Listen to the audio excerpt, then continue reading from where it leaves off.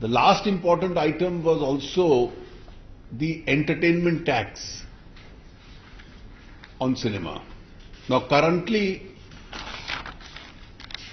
sections of the film industry have represented uh, about it. First, the facts. Today, entertainment tax is levied by the states. The states levy a different rate, starting from about 20% right up till 110%. And the weighted average for the entire country is about 30%. But several state governments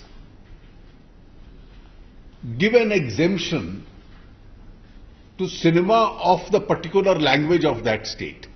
After detailed consideration of all the representations, it was decided that uh, there will be two categories of GST rates.